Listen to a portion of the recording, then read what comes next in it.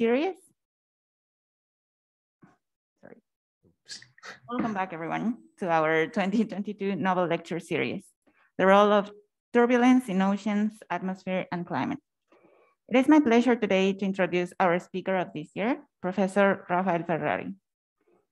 As a physical oceanographer, Professor, Professor Ferrari has significantly contributed to our understanding of the climate system with research efforts that span from the fundamental principles of ocean and atmosphere dynamics to the response of these systems to climate change.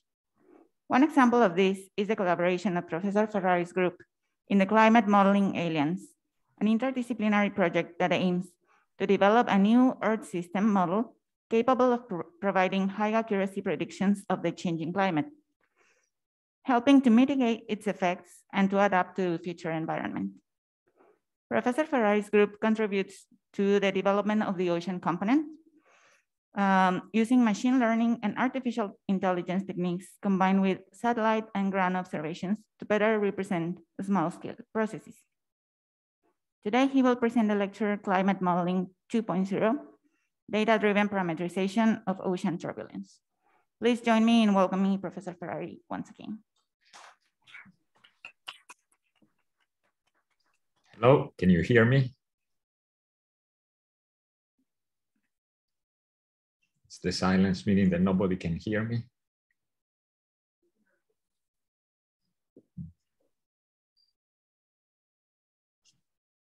Hello?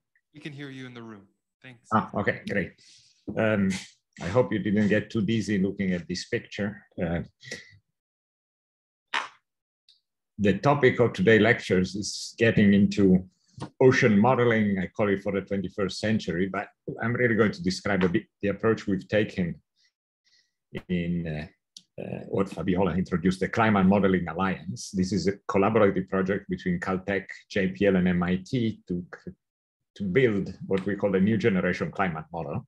And I explain what I mean by new generation, uh, so that you understand this collaborative project is trying to address all components of the climate system. Caltech, the group at Caltech, led by Tapio Schneider, is really dealing with uh, the atmospheric component. At JPL, they are building uh, the land component. At MIT, we are focusing on the ocean component, and then we couple all of them together the work I present today is mostly focused on the work we are doing at MIT, and you see the numerous people that are involved in this effort. We have a number of undergraduate students, Masha, Uliana, and Adeline, um, with us on some aspects, mostly related to application of calibration of parameterization, something that we get into during the talk. We have a few graduate students in the project, Ali and Grace, in particular, working with us. There are um, there is a postdoc, Simone, that just joined the group, and then a few researchers, Greg, um, Navid, Andre, and Jean-Michel. So it's a large effort because, as you see, it involves many components. And building these models requires different expertises, and maybe it's worth saying that the students and postdocs that we have are from very different disciplines, starting from computer science, mathematics, um, physical oceanographers, and physicists. So it's also trying to gather together the kind of expertise that is not often um, available in these collaborative projects that tackle climate models, where most of the expertise generally is focused more on the specific discipline of climate science. And I'll try to explain also why is it that we are able to be a bit more inclusive in terms of difference of disciplines. So first we start for what is the question, why do we even bother about creating a, what we call a new generation climate model? After all, we have plenty of climate models that are run regularly and used, for example, to produce what are called IPCC report, the Intergovernmental Panel on Climate Change that every seven years or so produces an update on our understanding of the climate system. And I'll show here where the issue might be. This uh, are projections on the graph that you see from uh, a whole set of uh, climate models run all over the globe by different groups. And all these models are used in the IPCC report, but in particular, these particular ones that I'm showing here are simulations from each one of these models forced by a doubling of CO2 concentration and allowing the model or the simulation to come all the way to equilibrium. So the climate comes back to an equilibrium and you're asking how much does the temperature increase because of that doubling of CO2? And you see some of these models, the ones on the left here, predicts the temperature increase of close to six degrees Celsius. Uh, instead, the models all the way to the right in this panel will predict no more than, or even a bit less than two degrees C warming. That's a huge difference. We know a two degree warming is already problematic for a doubling of CO2, but if we were going to go to a six degrees, that's a very different story. So in a sense, these models are not up to the task for really informing us on what risk are we facing if we know uh, uh, what emissions we are uh, moving towards, or at least what emissions or what is the maximum CO2 levels that we can allow for a particular temperature increase is not something that will be easy to predict or project based on these models. Now, already here in the low axis, I'm trying to suggest that there is some hint of where this uncertainty might be coming from. For example, the models on the right in this panel tend to have more clouds. The model on the left tend to have fewer clouds. We know the cloud feedbacks are quite important in producing the mean temperature of the climate system. And so it seems like small scale processes might have might play a role in this uncertainty. And just to make sure that we're all on the same page here, I'm really talking about the uncertainty associated with the physics or biogeochemistry in the model itself, right? Then there is the additional uncertainty that we don't know how much we are going to emit in the future, meaning the human component. But here I'm saying, even without the uncertainty, the human component, there is a large uncertainty in this projection just associated with structural uncertainty in the model itself. And that's what we want to address. So where do we think the model bias is coming from in this simulation that are all forced in the same way? So they should have given consistent results. And we all know that when we deal with fluid dynamics on a scale like a planet, the, our whole Earth, we can't res, uh, resolve the dynamics and the, the chemistry for that matter and the biology on the kind on all the scales that matter in this problem because of limitation on computer power instead what we have to do we take the whole sphere and we essentially cut it into a grid um, which presently will have a resolution of something of the order of 100 by 100 kilometers um, and it might have 100 vertical levels. So we have small cubes and if you think a 100 by 100 kilometer grid for all of Ontario, it would be like something like 10 by 10 grid points.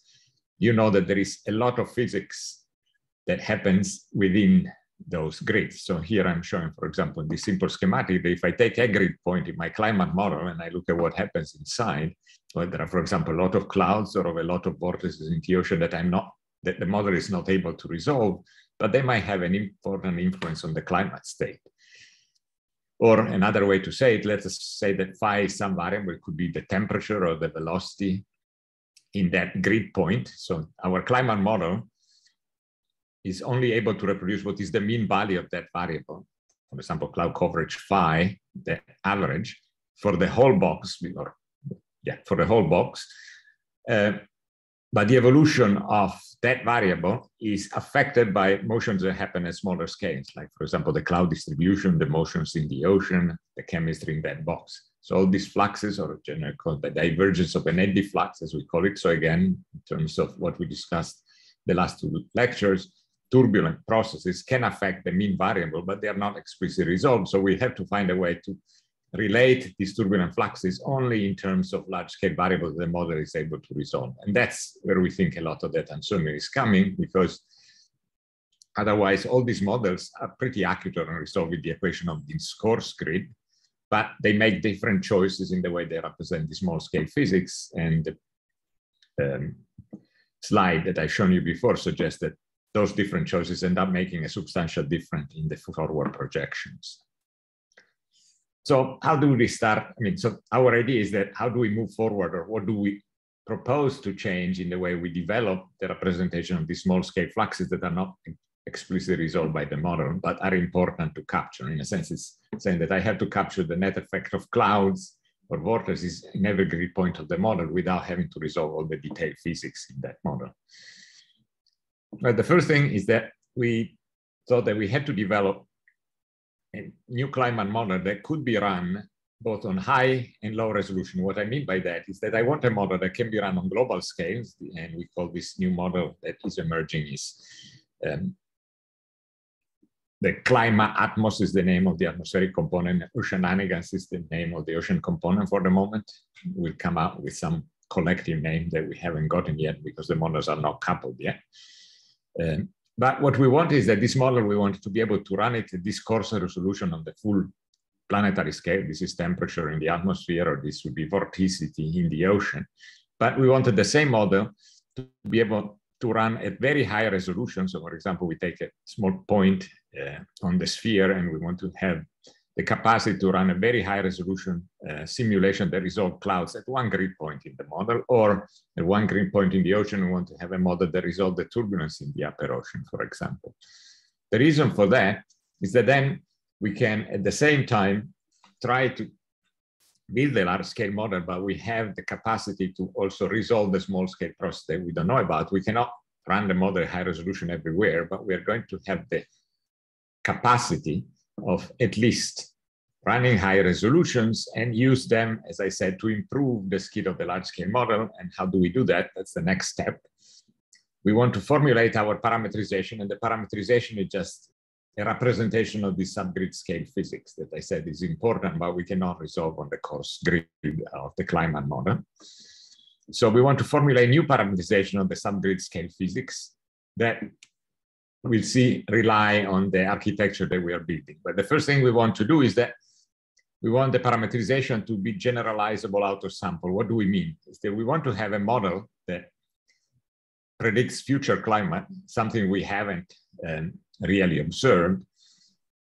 So we don't have an observed analog, but we want also the model to have what are called sparse parameterization, as few parameters as possible. I guess a good analogy is always uh, how we move from the Ptolemaic system to the Copernicus system to describe the orbit of planets. The Ptolemaic system, when Copernicus uh, proposed this new system, was actually more accurate in predicting planetary orbits than the Copernicus system, but it had many more tunable parameters for the various epicycles.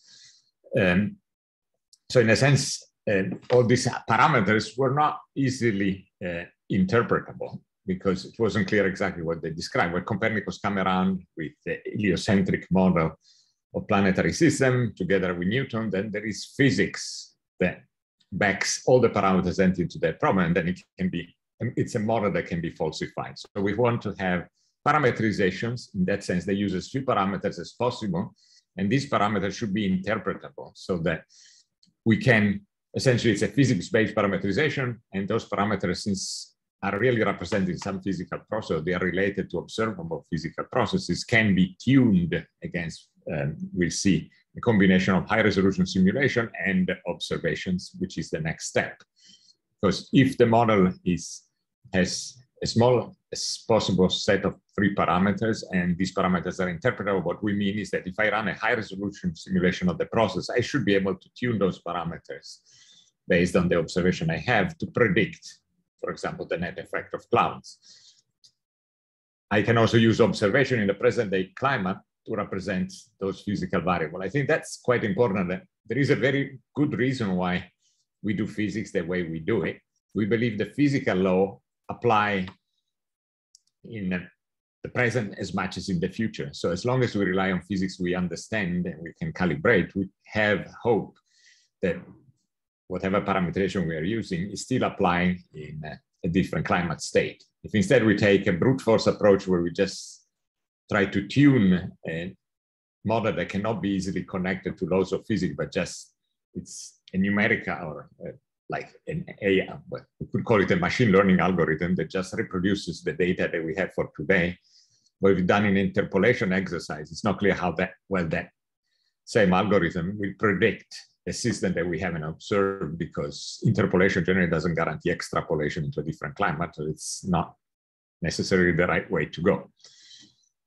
So as I said, we create parameterization. They are generalizable, they are interpretable, we can calibrate them. We don't stop just the calibration, finding the optimal set of parameters that reproduce the observation and high resolution simulation that we can run.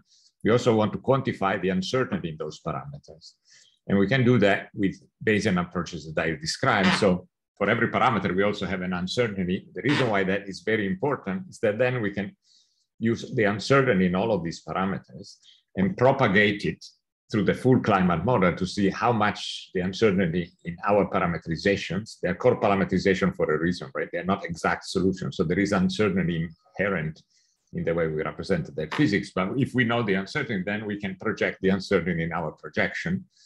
That's going to be very different from the model ensemble I've shown you so far, where we were running different models and they give different results, but we don't quite know the reasons.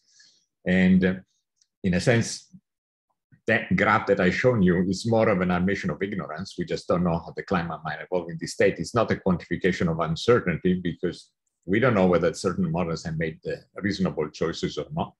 If we had uncertainty in all the parameters instead, we can propagate that uncertainty and say, for example, that the increase in temperature for a doubling of CO2, often called the climate sensitivity, well, could be three degrees plus or minus 1.5 degrees or whatever it's going to be in these simulations because we had the uncertainty that is at least contributed by the, the inaccurate or imperfect representation of the subgrid scale physics.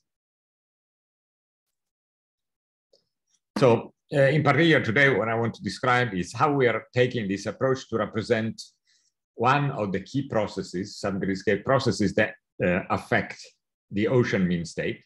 And in particular, I'm going to talk about parameterization of the ocean boundary layer turbulence in the ocean. This is one of the processes. The other one in the ocean that is particularly relevant is going to be geostrophic turbulence, but we talked about that yesterday, so I don't want to repeat that story. So let's see. Uh, first of all, what I mean by boundary layer uh, in the ocean. This is a section, it's observation from the real ocean. It's a section that um, actually I was involved in taking. Um, it's halfway between the California coast and Hawaii, between 25 and 35 degrees north. This is depth from the surface to 300 meters. So we're looking close to the ocean surface. And I'm showing density, the density of the fluid.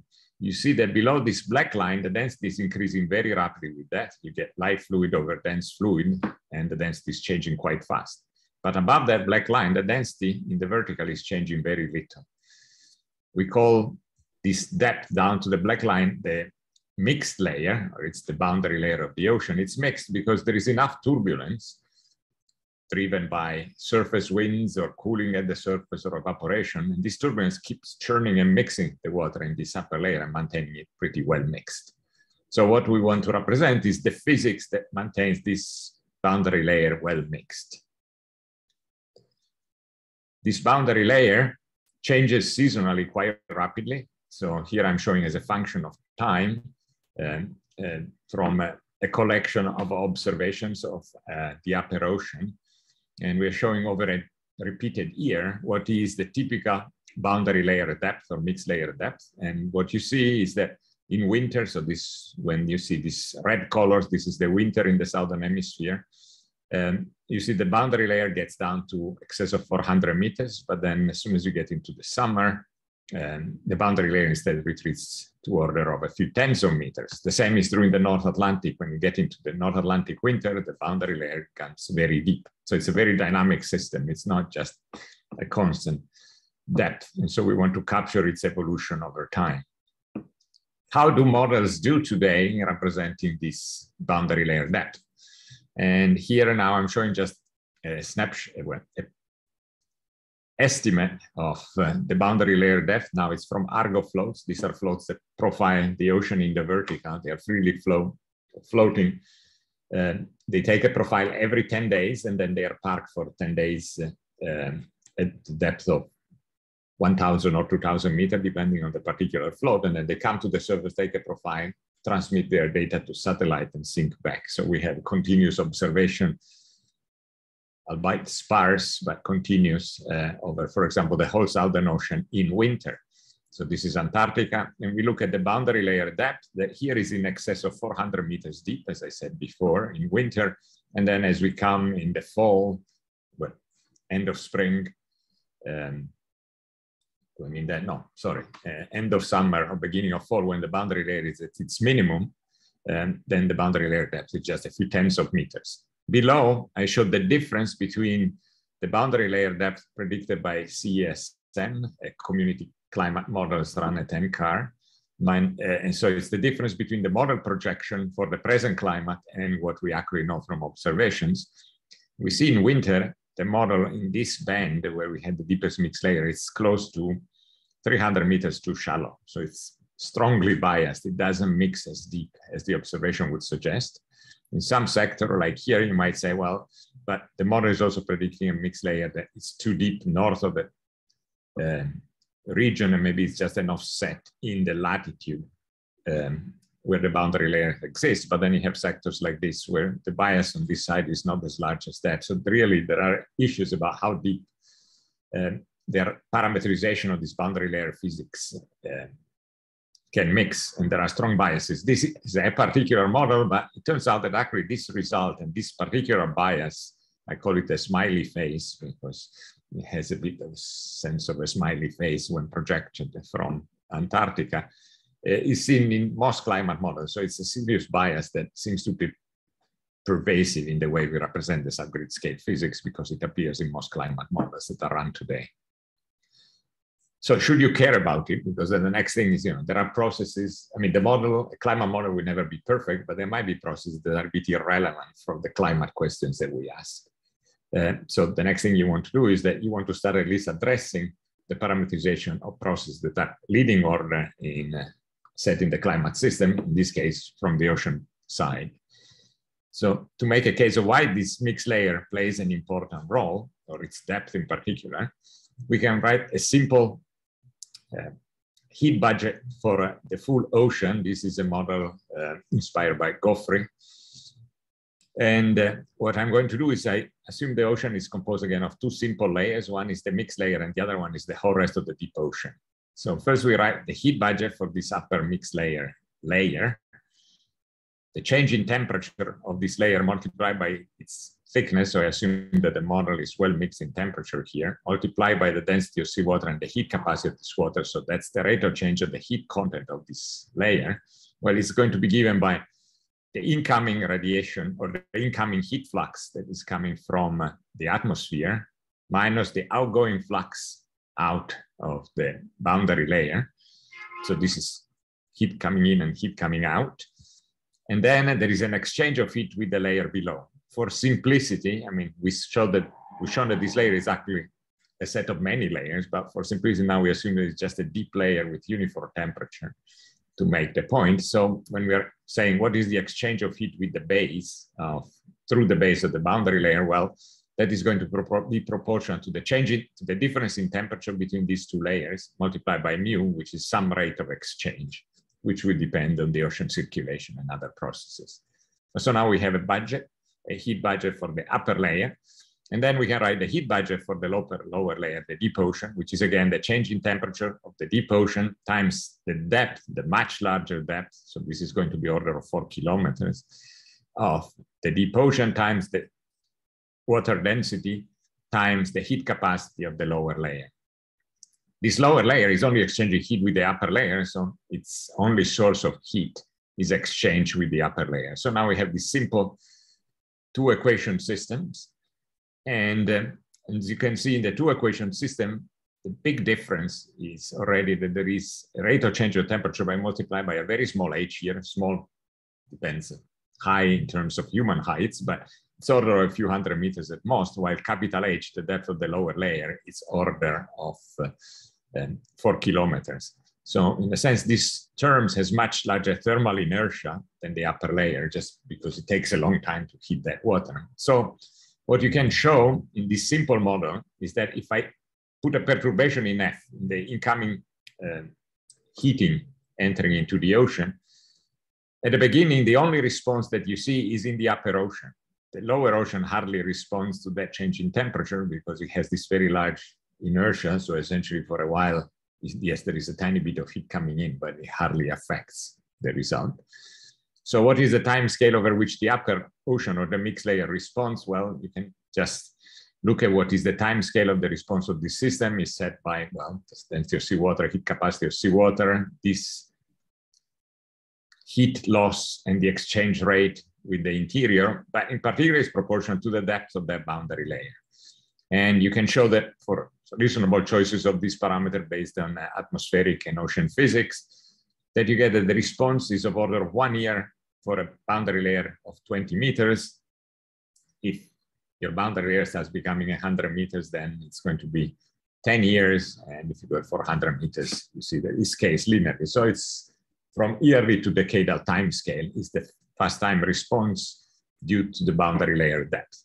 Instead, the time scale of the response of the deeper ocean depends on this capital H, the much deeper depth of the ocean, and that is over thousands of years. So it takes a long time to warm or cool the deep ocean in response to surface perturbation.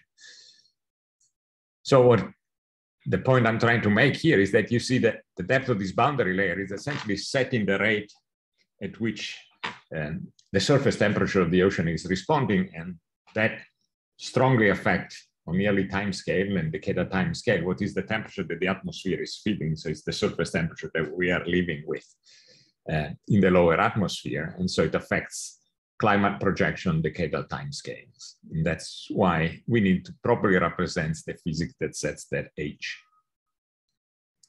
So what is the approach we're going to take? At this point can probably guess, or at least what I'm going to present today in particular, is that what we're going to do is that we're going to have high resolution simulations of the process that happen in the upper ocean. We call this large eddy simulation, the way they're called. So we resolve most of the physics we care about in this boundary layer turbulence. But we can run such models only on one grid point of the large scale model. We can't run it globally at that resolution because it would just be too computationally expensive, but locally we can.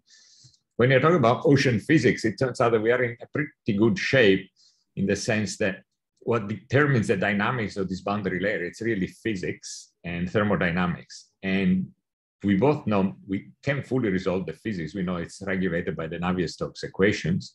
And the thermodynamics is largely set by the equation of state of seawater that we understand and we have good models for. So the real problem that we have in representing this small scale physics is just a lack of resolution. But if we have enough resolution, these models are quite credible. So we can create data for what that turbulence look like in various points of the large scale model. So the first thing would be to run this high resolution simulation and create a library that we can use as a training data set to learn about the parameterization. Then we discuss how we develop and calibrate a boundary layer parameterization based on these uh, high resolution simulations. And then we'll use the point that then, then I won't get probably to that today, but then we are going to use this calibrated parameterization. We put it back in the large scale climate model, and then we use it to um, run model solutions like the one I shown you before the global ocean. The Vorticity was already using a boundary layer parameterization. So the way we start is that, as I said, we have created this model of the ocean Oceananigans that can be run at very high resolution simulation. So we're going to look at solutions that have 500 by 500 meter it's a small box, it could be a kilometer by a kilometer. So it's even less than a grid point in the global model. And we're just going to use this code is written in Julia, so it can run, uh, it's a new um, coding language that makes it very easy to run the same model on GPUs or CPUs. The GPU is very useful for simulation like that because they're very efficient and fast um, processing tools, which is what we need. Um, one of the problems of traditional languages would be that when you transition to different architecture, you have to rewrite, rewrite large parts of the codes. While with Julia, we can avoid that problem. It's the same code that runs without any, any change essentially, except the line in the code to say what architecture you want to use, and then the compiler deals with uh, addressing the specifics of the architecture.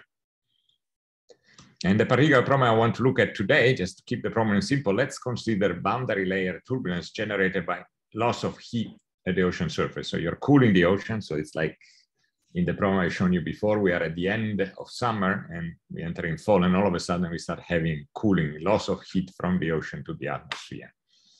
Um, the way the what the model solves are just the Navier-Stokes equations that are right here and the temperature equation for the moment it should be buoyancy, but we're only forcing heat. So we can just think in terms of temperature just to keep the problem simple. Conservation of mass, and our top boundary condition for this simulation that resolves the full physics um, is just that there is a heat flux imposed, a negative heat flux that is loss of heat from the surface. And if I let the model evolve, what you see is that the model started, maybe I should have said, the model starts at the beginning with a linear density stratification. What I mean is temperature is increasing, temperature is decreasing linearly with depth. So at the moment, the model was very stratified. It's like at the end of summer. And then we start applying a cooling. And here you're seeing a plot of vertical velocity. And you see this strong turbulence that developed at the top of my boundary layer. We are entering in, wind, in fall, then through winter here. And you see the boundary layer is getting deeper over time. And now I resolve all this turbulent physics that is churning the upper ocean in response to what is called upright convection.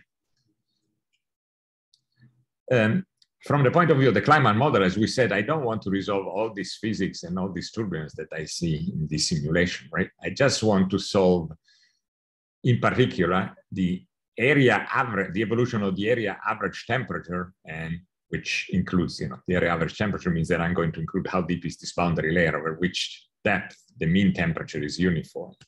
So what we want is to predict the average temperature theta bar. When I take the theta from the high resolution simulation and I average in X and Y over that whole domain. And I want to write an equation for the evolution of this mean temperature because the model, the large scale model is not going to resolve all the detailed physics. And when I take the average of this equation, there are these turbulent fluxes in particular, since I took a zone, an area average of the problem, there is only vertical divergence of turbulent fluxes that matter, just how I mix in the vertical. Or if you want, you can see it here what I mean. This on the right is the evolution of the temperature as a function of depth from this model here. And you see the mean temperature that is getting deeper and deeper. It's sinking. This is the boundary layer that is being formed, and it's just the temperature average over the whole domain as a function of time. I want to reproduce the evolution of this mean temperature. And here I show two of the turbulence statistics that um, are inducing that mixing, but that we want to represent that we cannot resolve in the uh, large scale model, in the climate model. This is the turbulent kinetic energy. And even more important here is the turbulent flux. How fast you mix in the vertical is dictated by this vertical mixing rate. Vertical just because if I average everything in the horizontal, it's the only direction left. Uh, it turns out that the hardest part in this problem is not to mix, to represent where the depth over which you're well mixed. It's really at the base of the boundary layer. The point is that as I cool, I create very cold plumes of water that sinks towards the base of the boundary layer. But since these water parcels are cold, they accelerate towards the bottom and they tend to overshoot a bit through the base of the boundary layer. So they're cold plumes. They don't just sit, stop at their neutrally buoyant level when they get as cold as their neighbors. They overshoot a bit. And so there is what is called entrainment at the base of the boundary layer. And that's the hard part to capture. And we contend that a lot of the biases we've seen in this large scale model is that the entrainment eh, is uh, not properly captured and therefore you miss the fact that the boundary layer can actually deepen much faster than you think because it keeps entra entraining extra fluid from the base and accelerating its deepening. In the interest of time, uh, I'm not going to discuss much the calibration of an existing parameterization. The, the main point here is that most of the models that I described so far use something that's called the CAP KPP vertical profile parameterization. It's a parameterization that uh, we've shown uh, what is interesting in this parameterization, maybe that's the only thing I need to say, is that represents the evolution of temperatures in a grid point of the model in terms of a diffusion equation in the vertical. And it depends on a set of parameters, of arbitrary parameters that need to be tuned. And what we showed in this first part of the work, because we want to understand whether we could use and better calibrate this parameterization, is that there is a fundamental failure in this parameterization when we train it against observation. We show that for no choice of the parameters, the arbitrary parameters of the non-dimensional parameters that appear in the closure, for no choice of those parameters, you can represent physics on every possible condition. So the parameterization can be tuned to represent, for example, mixing in heat flux for weak stratification, for small surface heat flux and weak stratification, but then that set parameter will not work when you have strong cooling or uh, much stronger stratification. That tells you that it's the formulation of the parameterization is deficient and you cannot calibrate it to produce accurate results. So we just step forward. And instead, I want to show you how we formulate a new parameterization, how we calibrate it so that we can actually reproduce a whole set of different solutions, meaning that it's this parameterization can be calibrated accurately for all kinds of surface heat fluxes and stratifications. We call this parameterization convective adjustment turbulent kinetic energy equation. Again, the starting point is similar to the KPP formulation. We said the rate of change of temperature, capital T is the temperature in the, in the large scale model, while I always call theta bar with the average as the average of the temperature from a high resolution simulation, just to keep them separate. So this is the temperature in a large scale model, and we want to represent the subgrid scale physics, the W prime, theta prime, in terms of just of a diffusion equation because you are mixing in the vertex. And this diffusivity kappa, much like yesterday, is expressed in terms of a mixing length scale and RMS velocity, if we want, the square root of the kinetic energy. And so now you need models for both of these components, for this physics that represents uh, how deep you mix. There is a turbulent kinetic energy equation that had the transport term, buoyancy, flux dissipation. It doesn't matter what they are, but there is an equation that step forward the evolution of the kinetic energy, and it depends on some arbitrary, well, arbitrary, non-dimensional parameters that need to be calibrated. The mixing length scale itself um, uh, is expressed in terms of eddy kinetic energy and surface heat fluxes in this case. When the temperature gradient is negative, there is one formulation. And when the temperature gradient is positive, there is a different formulation of the mixing length scale. Now I'm pointing this out because the first part of the choice of L is due to the fact that you're mixing in this boundary layer and where the stratification is, is either zero or very weak. But then there is the second component that says what happens when you're trying to overmix a bit through the base of the boundary layer where there is some stratification. So this is the part that is crucial to capture what I was called this entrainment layer, where the fluid makes a bit more than you would expect um, just because it entrains or the plumes end up sinking a bit to be these cold plumes and entraining some of the deeper fluid. So now we have a parameterization, it doesn't matter, it's a diffusive parameterization where my kappa depends on a set of dimensional parameters that are resolved, that have a prognostic equation or that are resolved by the models like the mean temperature. But then there are a set of non-dimensional parameters so right here that really the problem you have is that this diffusion equation is some functional form that depends on Q and a whole set of non-dimensional parameters. These are the ones that we would like to tune to see whether we can make a choice of non-dimensional parameters that allow us to make our simulation or our model or our climate model at one grid point to predict the deepening of the boundary layer exactly equal to what was uh, the evolution, or well, exactly, well, it's an overstatement, as close as possible to what was predicted by a high resolution simulation that results in full scale physics. The way we're going to choose the parameter is an optimization problem. And so we're going to define a loss function, which is the difference between our temperature in the, in the climate model minus the temperature average over one over the full LES simulation one grid point of the climate model, right? So we have our closure, we have a set of non-dimensional parameter. And the idea is that if we choose a very good set of non-dimensional parameter, probably these two variables track each other very well. And so this loss function is very small. If the choice of parameter is very bad, is very inaccurate, then this difference would be much larger and our cost our loss function would be very large. So now, how do we find these optimal parameters? We use a Bayesian approach in the sense we have a prior choice of parameters, so it's just a set of values um, that we try to choose um, with some intuition about the physics. But then what we do is that we run a simulation and we see how large this loss function is.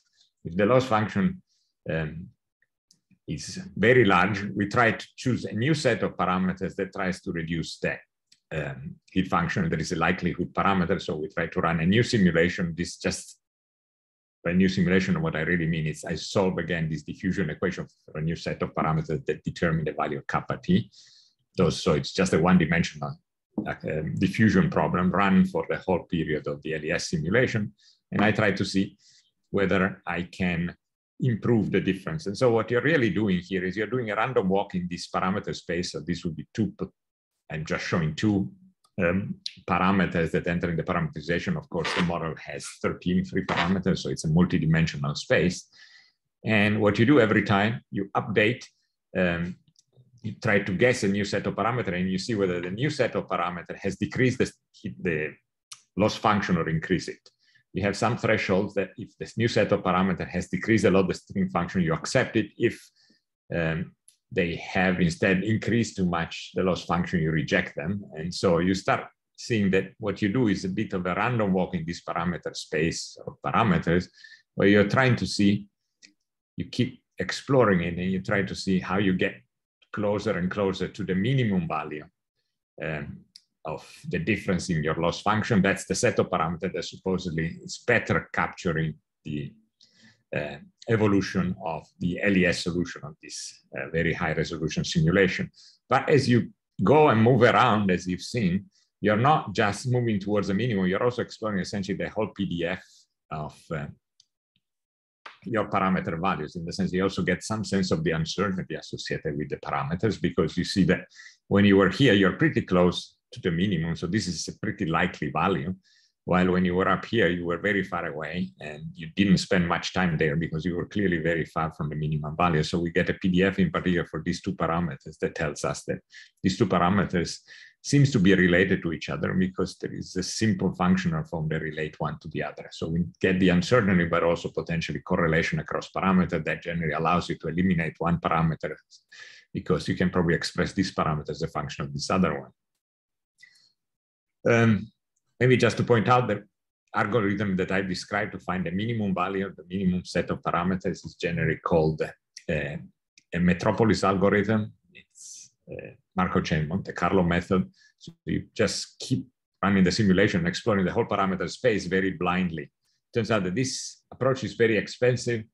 If you have just a few parameters, exploring the parameter space is not too bad. But if you start having a large number of parameters, like our, our 13 parameters, starts becoming quite expensive. And so instead we use ensemble-Kalman inversion approach where you run a whole set of particles, or so a whole set of trajectory at one time. So every time you don't just set one set of uh, uh, parameters C, but you choose a few set of parameters C, and you run simulation for all of them, and you see which one are selected versus which ones are rejected. But by using now all the whole set of parameters, you essentially can approximate a bit uh, the whole shape of your loss function and so by using this collective information, you try to accelerate the convergence towards the minimum. These models are quite efficient. It turns out that they work pretty well for the problems at hand. And so now I'm showing you, for example, this uh, is uh, in the upper row is uh, I'm showing in with the shaded red is this evolution of the mean temperature as a function of depth uh, from the LES solution. So I'm running the full LES, I take the zonal average, and this is in a sense, it's our truth, what we'd like to be able to reproduce. The dark line is instead the solution of uh, the parameterization equation, like this vection this diffusion equation where kappa t is using the um, full parameterization. And we calibrated the parameters. So you see that the black, the dark red line tracks very well the shaded curve, meaning that for a whole set of different set of parameters. So this solution starts with different stratification and they use different heat fluxes. In some of those, it's something I haven't discussed at all, but we do as well. We're also applying a, a wind stress at the surface. So we also have a, change in velocity field. So here in the lower line, I'm showing uh, in the lower half of the panel, I'm showing in blue the U velocity field and in green the V velocity field. So if there is a wind stress, the velocity changes as well. And we are showing that also the mean velocity is captured, not just the mean temperature evolution, but also the mean velocity average over the whole box. The parameterization, which is the thin line, follows very well for all this set of different forcing function and different initial condition. It follows very well the area average solution of uh, the uh, obtained from the full LES model that was resolving the full physics. as I said, we can obtain not just the optimal set of parameters, so now these are the whole set of parameters that enter in our parameterization, um, but we can also get an uncertainty on their value. So here we're also predicting uncertainty, and there are some parameters whose uncertainty is pretty limited. So we know them reasonably well. This is one that depends on the Richardson number. Um, and indeed, the uncertainty is not too large, but for some other parameters, uh, let's see, this one, for example, I don't know exactly what it is, but the uncertainty is much larger. So this is a parameter that will contribute a lot to uncertainty. And at some point you can decide whether it even makes sense to have this parameter in the parameterization because it might not be very useful. I'm actually showing you two PDFs. If you have looked, one is in yellow and the other is in blue. Um, what is important here is that we are using both the approach that I told you, where we really approximate, keep running our parameterization and try to reduce the loss function, but even that approach can be uh, quite computationally expensive. So in some cases, we just run an emulator. So the blue line was obtained by uh, run, sorry, the yellow line is the yellow PDFs for each parameter is obtained by running the full uh, parameterization, but then we can also create an emulator of the parameterization, which is much faster, the, uh, which is just a low mode projection of the parameterization, and we can do the parameter estimation on that low mode. So just showing that we can really accelerate the, the calibration, the parameterization, and the quantification of the uncertainty quite dramatically. So that's one way in which we can calibrate the parameterization. Now we have a parameterization for boundary layer turbulence that we've shown has skill in reproducing the high resolution physics, and it seems to be on track. Uh, and we also have the uncertainty in the parameterization so that when we put it in the global model, then we can use that uncertainty information to estimate the projection of uncertainty on the overall impact of that uncertainty in the full climate model.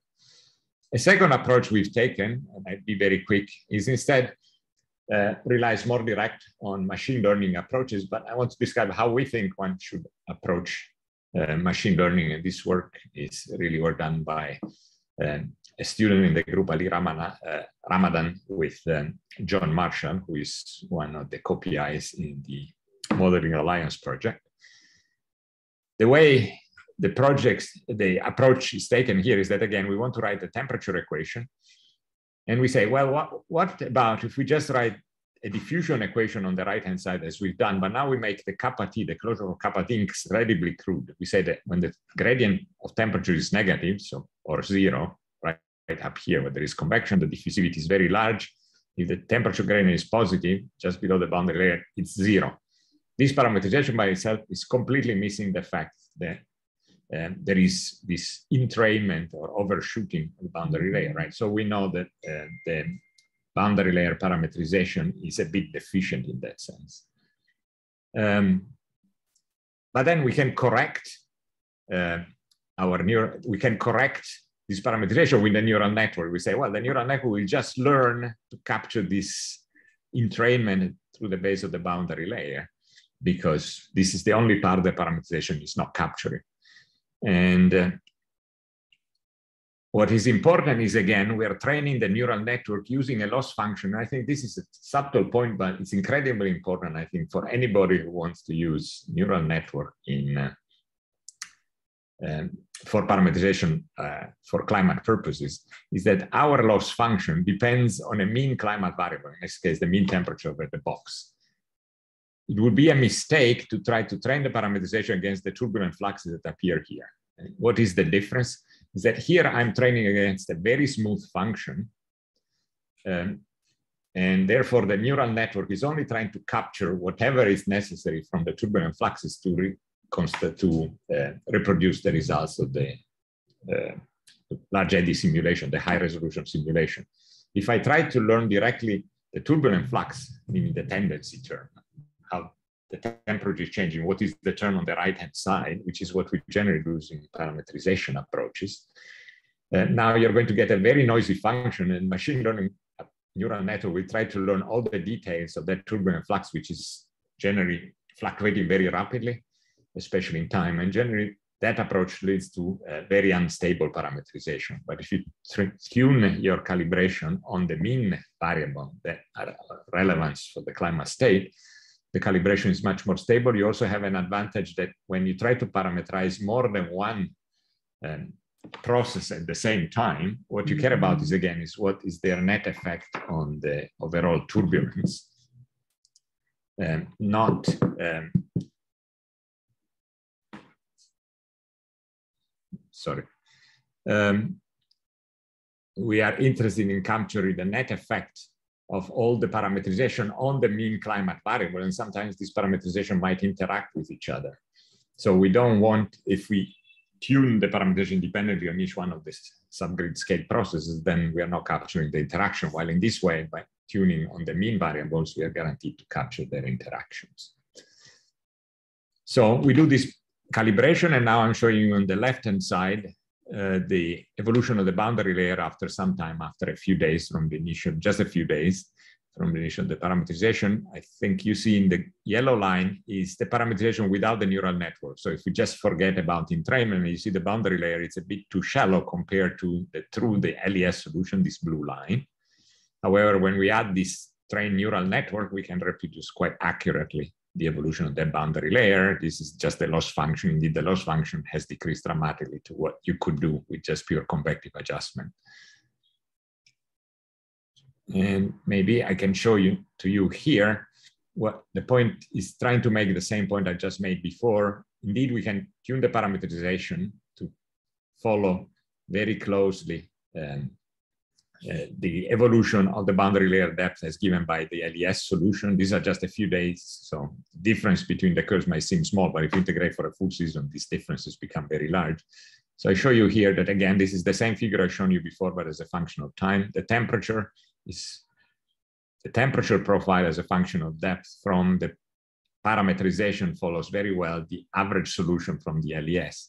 But on the left-hand side of the panel, instead, I'm showing the turbulent fluxes.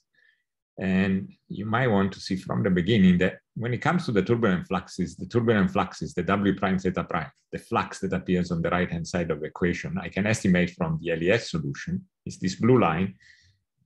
The neural network doesn't necessarily always capture very well the turbulent fluxes.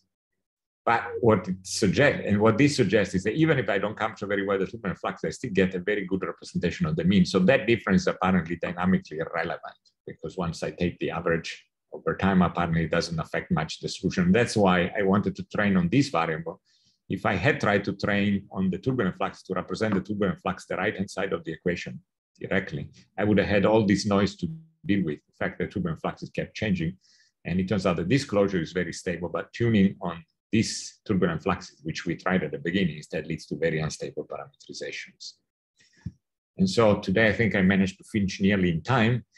I think what the point I try to make is that in order to, what we mean by a new generation climate model, the first step is to generate, you know, write a code, and we call in particular the ocean component, oceananigans.jl, is a fast, friendly, and flexible, fun global model that can run on modern architecture. We want something that is very easy to interact with. Climate models are generally not written, at least in my experience, that way. They're not that accessible. You want people to be able to download. If oceananigans.jl is on GitHub, you can go there and once you've installed Julia on your laptop, I can guarantee you, you can run it uh, very quickly and start playing a bit with uh, ocean simulations without knowing anything really about the details of the model or uh, how to compile or how to uh, run on GPUs, for example. Everything is pretty uh, seamless. The next step was to write parameterization for subgrid scale physics that can be trained. For the moment, I've shown you only high resolution simulations um, to reduce the climate model biases. Why did I show you only res, uh, high res training against high resolution simulation? Is because once we train this parameterization and we run it on a global model, now we have our parameters in the parameterization that have some optimal value, but also have an uncertainty. Now what we're doing, we use global observations, and this is something we just started doing. We want to use global observations, and this global observation then can be used to reduce, uh, to change the parameter within the range of uncertainty uh, to now calibrate also based on available observations. This is very different from what is done today because once we know the uncertainty of the parameter, we cannot move the parameter away from their uncertainty because otherwise we know we are betraying the fundamental physics captured by those parameters. Right now, very often what we do in the climate modeling community is that we tune parameters already directly on the large scale uh, observations, and therefore we allow ourselves sometimes to move the parameters, the optimal parameters outside the range of what the physics would suggest they should be. And so at that point, the model is physically not quite defensible anymore. Uh, one important point is that the training of the parameterization is formulated as a gradient-free inverse problem. As I told you, we use this ensemble Kalman inversion, so we don't have to compute derivatives of the model to use like uh, optimal descent or use derivatives to converge fast towards a minimum. Uh, in Julia, actually, the model is differentiable, but we think that that's a limitation if you take that kind of approach because sometimes parameterization are hard to differentiate, but more in general, we want the tools that we use to be accessible not just to the model that we are writing, but also to other models that people want to run. And typically, it's not that easy to write the adjoint of the model. We don't want to put that burden on the developers. And so as I mentioned, as I mentioned, the source code and data are all available, so you can go on Clima, climaatmos.jl and clima oceananigans.jl on GitHub. We also have the ensemble Kalman process, the approach that you can take uh, to calibrate parameterizations uh, and in particular for the calibration of boundary layer parameterization in the atmosphere, EDMF, and parameterization for param the parameterization for processing in the ocean is called ParameterEstimocean. All this software is freely available, and we'd be happy if people start, uh, well, I don't know if playing is the right word, but definitely developing these ideas with us. Thank you very much, and I'm ready for questions.